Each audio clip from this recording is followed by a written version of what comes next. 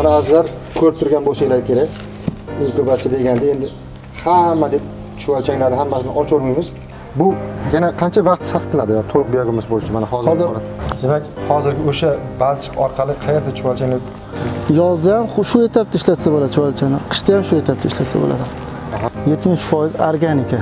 Bunda o'sha organikada po'choq piyoz bormidi bodringmidi kerak bo'lsa tarvuzgacha ham qo'shganmiz qish paytlari va bu yerda endi inkubatsiya emas dehqonlarimizni mijozlarimizni qo'liga yetib boradigan biogomusni tayyorlanish jarayoni albatta. Abdusaid siz hali yuqorida balchiqdan ham mana shu biogumus tayyorlash jarayonlarini sinov tajribadan o'tkazayotganingiz haqida aytib o'tdingiz. Shu haqida ozgina.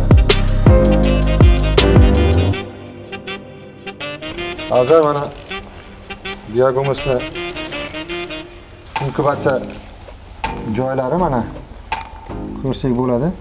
Demak boya biz aytib o'tdik absayd metr kvadratda qanchadir chuvalchanglar bor buni tuxumlari bor yangi chiqayotganlar bor. Demak hammasi mana shu yerda. Mana hammasi shu yerda. Mana yo'q holatda menga men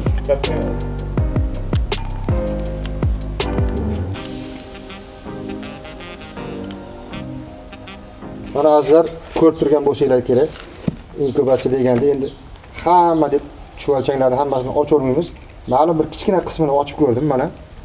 Haqiqatda judayam ko'plab chuvalchanglar endi tuxumlari ko'rinmas ekan bizga ko'rinyapti. Ya'ni bu yerda ko'payish jarayoni nimaga absayd ha ko'payish jarayoni boyagi o'sha e, gapimiz isboti chunki bu yerda уже oziqa kamayyapti va o'sha maydalashganni hisobiga o'sha ko'ryapti ko'ryapsizlar maydalashgan. In- ingichkaroq yana ingichkalashgan chunki bu yerda o'sha o'sha e, klientlarga mahsulotni tayyorlab boryapmiz ha o'sha qalin boya yo'g'on bo'lib turganda mijozga borishini salbiy tomonlari nimada deb hisoblayapsiz salbiy tomonlari chunki u oziqadan o'zini oziqasi bilan to'yingani uchun u yerda stressga uzoqroq cho'zilib ketib qoladi. Misol uchun oldin 15 kun 20 kunga cho'zilsa- hozir 4 kun yoki uzoq bir haftagacha boryapti shu holatda bersak tez adaptatsiya olib ishga kirish tezroq ishga kirib ketishyapti. Ha, demak bu o'ziga xos bir layf ekan. Bu ya'ni yangi chuvalchanglar olayotgani uchun ma'lum bir ozuqalar kamaygan paytda, ya'ni cho'zilishib, ingichkalashib, ovqat so'rab, chay haligi yelka pichoqlari chaqirib turgan paytda shundoq obedga olib borilar ekanda birdan ishga kirishib Shunaqa, to'g'ri, oshqozoni ochilib ishga tayyor bo'lar ekan. Karam ko'chatlarimiz ham shunaqa ekinlarda ham bo'ladi. Mana ko- ko'chatlar tayyorlanayotganda dalaga chiqarishdan oldin karam ko'chatlarni chanqatib keyin dalaga chiqarilsa o'sha bitta suv bilan yaxshi mahkam o'rnashib tomirlari ishlaydi demak bunda ham shunga o'xshagan chuvalchanglarimiz ham holat bo'lar ekan. To'ppa to'g'ri Xo'p, endi bir balchiqda bir balchiq orqali biogomus yetishtiryapmiz, yetish tayyorlayapmiz. Endi biz to'liq tafsilotlarini so'rab o'tirmaymiz, chunki har bitta korxonaning o'zini sir sinoati bo'ladi. Albatta. yana ikkinchi ma- tarafda sizlarda bu hali o'sha jarayonda ekan, to'liq hali e, oxirgi bir etapga yetib kelganidan keyin yana ham oshkorroq qilsak bo'ladi. xudo xohlasa Demak, hozirgi o'sha balchiq orqali qayerda chuvalchanglar yetishtirilyapti va jarayon, ya'ni balchiq orqali biogomus yetishtirish jarayonlari bo'layotgan joyni ham bir ko'rsak. bo'ldi ho'p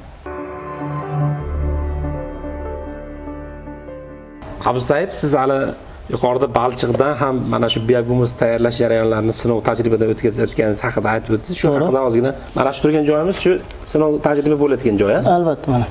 Ko'rishinglar mumkin.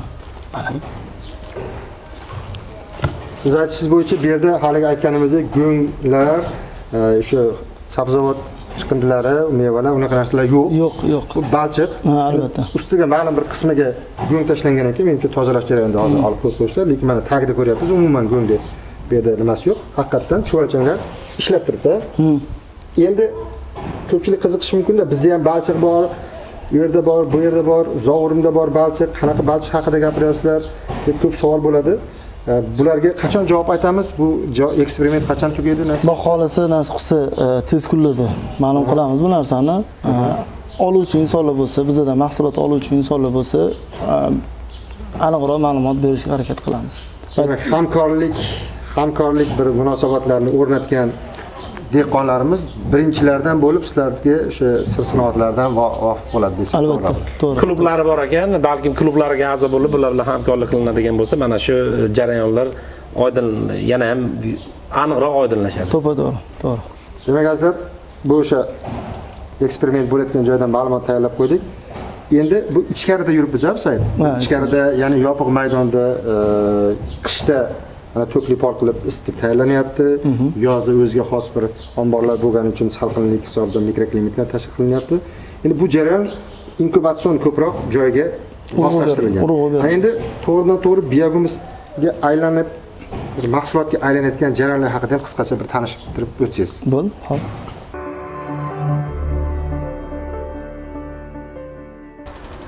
demak boya ichkarida inkubatsion bir tizimlarni ko'rdik. Ee, Endi u chuvalchanglarni ko'paytiradigan holatida.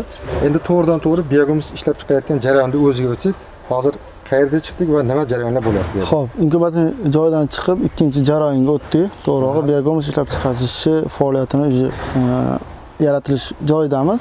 E, Hozir bu yerda ham chuvalchalarimiz aktiv e, ravishda ishlayotibdi, ishlayapti. E, Xohlasanglar guvohi bo'lishinglar mumkin. Qani ochib bitta ko'rsatib bersangiz shuni. Sizlarga krupnida ko'rsatamiz. Chuvalchanglar mana ishlab turibdi haqiqatan. Hali ko'rganimizda ancha mayda chuvalchanglar ko'p edi. Bu yerda уже kattaroq chuvalchanglarimiz bor. Va bu yerda endi inkubatsiya emas, dehqonlarimizni, mijozlarimizni qo'liga yetib boradigan biogumusni tayyorlanish jarayoni. Albatta. Bu hozir qaysi bosqichda? Bundan keyin yana bosqich bormi? Yo, bundan keyingi bosqichi bo'ldi. Umuman doimiy o'sha e, ag'dar turiladigan e, jarayonlar, doimiy namligini ushlab turadigan jarayonlar. Bo'ldi, bunga boshqa shu e, kerakli oziqa tashalmaydi. Ha, shu yerda o'zi shu biogumus tayyor bo'ladi. Ha, Boshqa yerga ko'chirilmaydi, Yo'q, boshqa qilinmaydi. Bu yana qancha vaqt sarf qiladi yo, to'liq biogumus bo'lishi? Mana hozir hozir qisman hozir bu e, 60-70 foiz e, jarayon tayyor bo'lib bo'lgan va yana xudo xohlasa bir 30 foiz jarayon qoldi. Bu muddati gideti bir oylarga cho'zilishi mumkin uzog'i. Tushunarli. Absaid mana bu e, go'nglarni ichida, shu poralarni ichida ancha toshlar, har xil e, o't qoldiqlari, boshqa narsalar ko'ryapmiz. Yog'och qoldiqlari bor ekan. E, Mana shu hozir ozgina qismi qolgan bo'lsa tayyorlanish jarayoniga tayyor bo'lgandan keyin qanaqa tartibda qanaqa ravishda sizlar buni tayyorlab mahsulot tayyor mahsulot holiga keladi Xo'p, tayyor mahsulot holiga e, kelgandan o'zi e, уже ma'lum bo'ladi. Va ma'lum bo'lgandan keyin уже biza o'sha e, kerakli chuvalchalarni olamiz. Ajratib olish. ajratib ajratib olinadi jarayoni va ajratib olingandan keyin u jarayondan уже уже mahsulotni уже ishlaymiz. Mahsulotni o'sha xalqqa o'sha taqdim qilishga e, o'sha bukovka yoki o'sha e, kerak bo'lsa o'sha e, qoplab yetkazib beramiz. O'sha ajratib olish jarayoni qanaqa kechadi? Toshlarni boshqa bizada hozir xudo xohlasa ko'rsatib o'tamiz. Katta e, apparatimiz bor. Ana o'sha jarayonda o'sha apparatdan solganimizni toshini toshga o'sha e, tayyor bo'lmagan mahsulotni alohida hammasini alohida qilib chiqarib beradi. Va ungacha bo'lgan etapgacha o'sha e, xizmatchilarimiz aralashtirayotganda o'sha kerak kerak emas mahsulotlarni chetga olib olib tashlaveradi. Katta kattalarni olib olib turaveradi. olib turadi Endi buni menimcha sizlar to'liq nazorat qila olmaysizlar kerak shu chunki mana toshlar, boshqa narsalar kelyapti, o'sha har xil hayvonlar chiqitidan ko'proq keladi. O'sha boqilayotgan maydon qanaqa bo'lsa o'sha toshlar ilojsiz keladi endi. Uni to'liq nazorat qilish iloji yo'q. to'g'ri u bilan qo'shilib keladigan har xil hashaylar boshqa bo'lsa u qaytamga yaxshi. Shunaqa. Biogumusga o'zini foydasi bo'ladi. va o'sha toza organikada qilingan biogomusimiz ham qilinayotgan jarayonlari ham bor Toza organika deganda nima nazarda tutilyapti? Nima? po'choq Bu yerda go'ng yo'q.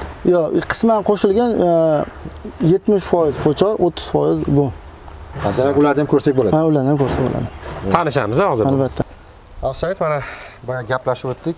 Biz ilgarigi roliklarimizni o'sha go'nglarni olib kelingandan keyin ustlariga suvlarni quyib, Hmm, to'g'ri. masalan, ariqlarga oqizib chiqib tashlash, ya'ni yuvib tashlash haqida ko'p gapirganmiz haligi. Albatta. O'sha zararli xossalari ketadi deb, endi hozir bildikki, zararli xossalar bilan qo'shilib yaxshilari ham oqib ketar ekan. Hmm. foydali tomonlari Ha, ham ketib qoladi. Mana hozir go'ng keldi.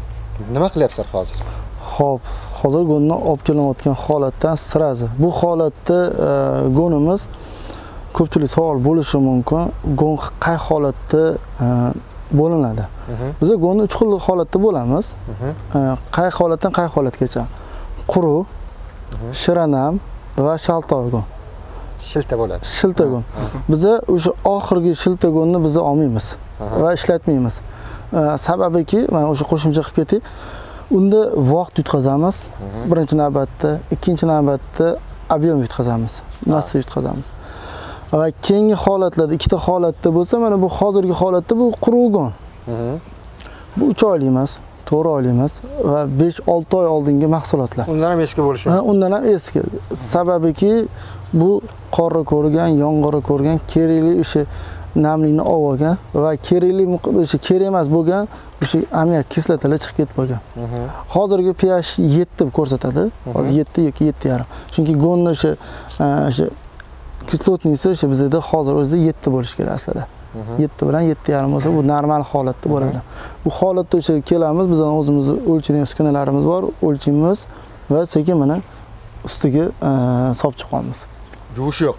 Yuvish umuman hozir to'xtatganmiz. Demak, azizlar, e'tibor qaratamiz. Biz ilgari yuvishni targ'ib qilganmiz, o'zlari ham aytgan. Biz uni ko'rsatganmiz ham yuvganini e, va bu boshqa biogumuz ishlab chiqaruvchilar bilan gaplashganimizda ham hammasi baribir bir ovozdan aytyaptiki, yuvmasdan uni ishlatish kerak deganda mana shu holatdan qo'llanayotgan. Demak, go'ngdagi foydali xossalarimiz 100% to'liqligicha o'zi saqlanib qoladi. Shunaqa. Biogumuz bo'lib shu chuvalchanglarga yetkazguncha, demak, hech qanaqangi yuvish ishlarimiz sof holatda, qanday holatda kelgan bo'lsa, o'sha holatda demak To'g'ri-to'g'ri. ishlab chiqarishga qo'yiladi. To'g'ri-to'g'ri. Said e, mana shu jarayonlarda ekinlarimiz ham bo'ladi. Mana shu takomillashtirish haqida aytib o'tdik. Ba'zi bir fikrlarimizni keyinchalik o'zgartirishimizga ekinlarda ham masalan berilayotgan ekinlarga beriladigan mineral o'g'itlarda selitra yoki karbamid hisobida keyin zamonaviy yondashuv yangi bilimlarni o'rganganimizdan keyin eski bilimlarimiz ba'zi bir e, fikrlar to'g'ri kelmay qolyapti. To'g'ri-to'g'ri. Biogumuz yetishtirishda ham mana shu oldin aytib o'tadigan fikrlarimiz yangi bilimlarni olgandan keyin takomillashgandan keyin ba'zi bir fikrlar o'zgarishi tabiiy kechar ekan. Albatta to'g'ri-to'g'ri. Masalan, bir necha yillardan keyin hozirgi aytayotgan ba'zi bir fikrlarimiz ham o'zgarishi mumkin. Mumkin. Ya'ni takomillashtirilib yaxshiroq bo'ladigan bo'lsa, biz albatta uni taqdim qilamiz. To'g'ri, ham yana bitta ma'lumotni aytib o'tishimiz kerak. E, Boshqa biogumuz yetishtiruvchilar ko'rishlari mumkin. Umuman boshqa dunyoda YouTube bo'lgandan keyin hamma joyda ko'radi. E, Bugun Abdusaid ukamiz qanaqa tartibda tayyorlayotgani jarayonlari haqida tanishiryapmiz. Boshqa biogumuz yetishtiruvchilarga hech qanaqa e'tiroz yo'q. Bu aynan biz berayotgan ma'lumotlarni sizlar aynan shunday qilishimiz kerak, aynan shu to'g'ri deb qabul qilishlari shart emas. Abu Said mana shunaqa texnologiyalarda tayyorlayapti. Bu Abu Saidning varianti. Biz sizlarga mana shu tabiiy o'g'it sifatida yoritamiz. va Sizlar o'zlaringizga kerakli joyni, qismini olasizlar. Abu Said hali organik biogumuz tayyorlash haqida aytib o'tdingiz. Meva sabzavotlardan ham qo'shilib, qisman go'ng qo'shilgan holda mana shuni tarkibi haqida sal to'liqroq ma'lumot berib ketaylik. Xo'p. Bu yerda e, qisqa qilib gapirganimizda 70% organika. Bunda o'sha organikada po'choq. Piyoz bormidi, bodringmidi, e, kerak bo'lsa tarvuzgacha ham qo'shganmiz qish paytlari. Chunki o'sha bozorlarda yig'ilayotgan organikalarni biz yig'ishtirib olib kelib shularga soldik. Ko'p bu muammo uzoq yillardan beri bizda muammo bo'lib yotuvdi. Azizlar boya ta'kidlab o'tdik. Afsayt akamiz aytishi bo'yicha faqat go'ngdan emas, turli xil meva sabzavotlardan tarkibiy jihati 70% meva sabzavotlardan tashkil topgan biogumuz haqida gapirdik. O'zi organika deganimiz hammasi organika bo'ladi o'zi. Chunki go'ngni o'zi ham qilinayotgan organika, chunki sintetik o'g'itlar yo'q, azot, fosfor, To'g'ri. yo'q. Buni ham o'zi kelar biz buni nomini meva sabzavotlar tarkibiy jihatiga ega bo'lgan biogumuz deya qolaylik. 30% demak go'ng bor ekan. Endi buni tarkibiy jihat haqida ma'lum bir ma'lumotlar o'tmaysiz. Qayerdan keldi buncha meva sabzavotlar? Xo'p, bu meva sabzavotlar o'sha o'zimiz bilgan bozorlardan, o'sha dehqon bozorlaridan yig'ishtirib olib kelganmiz bularni. Nimalar bor ichida? Buning ichida piyoz ham bor, bodring ham bor. Va tarvuz kerak bo'lsa balangacha ham bor. Ha, haligi chiqitga chiqadigan optim bozorlarda boshqalar chiqadigan, demak shunaqa meva sabzavotlarda o'z muammosi bor shunaqa. To'g'ri. O'zi chiqiti borda, uni doim musirga olib boradi. Aslida buni biogumuz qilish mumkin ekan. Bo'ladi. Mana demak fakt-da mana. Mana Ko'rib isboti. turibdi. O'sha chiqitlardan ham demak o'sha meva sabzavotlar chiqitlar- chiqitlardan foydalanish mumkin. Afsayt mana shu oddiy go'ng bilan meva sabzavotdan olingan biogumuzni tayyor bo'lgandan keyin uni tarkibiy jihatidan farqi bormi yo'qmi? Albatta bo'ladi. Albatta. U o'sishda o'sha mahsulotni o'sha e, ekiladigan mahsulotni xudo xolasa hosildorlikni bir necha baravarga oshishiga bir sabab bo'ladi bu narsa. Tushunarli, qarang. Ana endi juda yaxshi ma'lumot bo'ldi. Buni uyda, xonadonlarida bor. Haligi har kim uyida chiqadi, mahallalarda yig'iladigani bor. 4 ta 5 ta qo'shni ham yig'ilib bir kichkina joyda, masalan, sizdan bir yashikda chuvalchang olsada bir burchakka o'zini bir, maydonchasi organik maydonchasini qilib turib o'sha po'choqlarimizni tashlab o'zi yeydigan o'zi yeydigan mahsulotlar yetishtirish uchun bir kichkina bir e, chuvalchang e, bog'chasini yaratsa ham bo'lar ekanda albatta mana bo'ladi hozir mana hozir e, shuni qani beshlikni olib bitta ko'raylik. Buni ham hozir bir katta farqini ko'rmayapmiz. Boya go'nglikni ham ko'rdik. Hozir bu yerda na banan na tormuz na pomidor hech narsa yo'q. Mana ko'rib turibsizlar hali chuvalchanglar maza qilib ishlayapti va ko'rinishi ham haqiqatdan bir chiroyli ozuqaviy qiymati haqida yana har kimda sомнение bo'lishi mumkin. Banan bo'ladimi olma bo'ladimi boshqa bo'ladimi o'ziga xos yetishtirish jarayonida quyoshdan juda yam ko'p energiya oladi. Va turli xil o'sha e, o'zini tarkibida o'simliklar uchun foydali bo'ladigan elementlar bor bo'ladi. U demak chuvalchanglar bilan yana ishlov o'tgandan keyin haqiqatda juda yam bir zo'r ya'ni ozuqaviy qiymati yuqori bo'lgan bir ozuqa e, bo'lishiga hech qanaqa shubha yo'q. Albatta to'ppa to'g'ri bu yoq tarafga. Ham. chunki boya biz ustini yopib soyalar qilardiku biz. Ochiq joyda ham tayyorlanyapti hozir nima o'sha qanaqa oydinlik kiritamiz ochiq turibdiku usti yopilmagan. Yo yopish shart emas. Odamlarda tushuncha bo'lib qolganda. Yoz kunlari salqin qilish uchun somon yopaylikmi yoki ustiga nimadir yopaylikmi degan ko'p savollar bo'ladi. Qishda bo'lsa nimaga muzlab qolmaslik uchun nima qilishimiz kerak? Ochuv maydonida degan savollar ko'p bo'ladi. Abu said e, Ularni? hali ichkarida angarlarni ichida ko'rdik. Tiyopli pollar e, suvlarni sachratadi qishda bemalol imkoniyat bor yozda ham imkoniyat bor. To'ppa to'g'ri. Endi hozir yoz bo'lgani uchun bizni ko'radigan tomosha qiladigan muxlislarimiz baribir o'ylashadi. Yozgi holatda biagumuz tayyorlash uchun qanaqa jarayonlarga e'tibor qaratish kerak qanaqa holatlarda biagumuz yetishtiriladi mana shu ustiga bir narsa yopilishi kerakmi yo'qmi keling mana shu yozda tayyorlash haqida ham sal to'liqroq tushuncha berib ketsak siz o'rinli savol berdingiz. Bu savol kunni kunora har kuni desa ham bo'ladi. Mana ko'rib turishganda hech narsa qilmaganmiz ustiga, hech narsa yopmaganmiz. Faqat doimiy o'sha suv bilan ta'minlab turamiz, namini ushlab turamiz bo'ldi. Ko'pchilik aytishi mumkin, somon bilan yopilaring deydi yoki ustiga bir nimadir tortib qo'ylaring, bo'z bo'z tortib qo'ylaring, Setkami tortib qo'ylaring. Yo'q, aslida unaqa qilish shart emas. Yozda ham shu etapda ishlatsa bo'ladi chuvalchani, qishda ham shu etapda ishlatsa bo'ladi. Aha. demak ma'lum bir qalinliklarga e'tibor qaratish kerak Albatta, qalinligini biz o'shaning uchun klientlarimizga, mijozlarimizga ko'proq aytamiz, 40 yoki 40 dan yuqori darajada qilsanglar bo'ladi. Chunki 40 bo'lsa kerakli namligini ushlab turadi yoz kunlari va 40 dan balandroq bo'lsa kerakli issiqlikni ushlab turadi qish kunlari. sovuq bo'lsa muzlama bo'lsa ham Ha, albatta. Qisman usti muzlaydi. Bo'ldi, tek qatlami bo'ldi, muzlamaydi. Yozda bo'lsa usti qisman quriydi, tek qatlami o'sha namlik holatida turaveradi. mana shu akamiz hozir suv sepayotgan ekanlar mana shu sug'orish bir kunda issiq vaqtda necha marta amalga oshiriladi Bir kunda ikki marta qilamiz.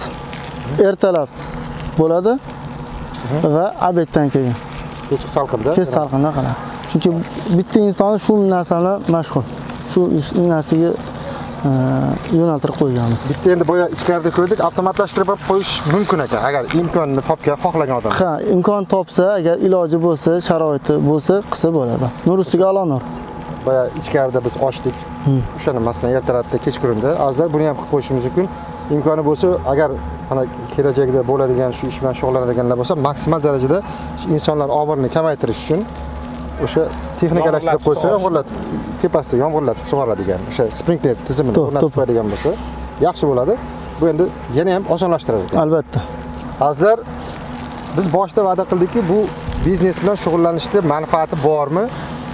Bu haqiqatdan arziydimi shu narsaga umrini vaqtini mablag'ni sarf qilishga arziydimi bu biznes yoki bu juda ham ko'plab mana youtubeda ma'lumotlar bor har kuni hali mashinani oldiga qo'yib chiqadi kimdir vertolyot rasmini qo'yib chiqaradi mana boy bo'lib ketasan deb mana endi buni biznesi haqiqatdan arziydimi yo'qligi haqida bir alohida suhbat qilsak Albatta.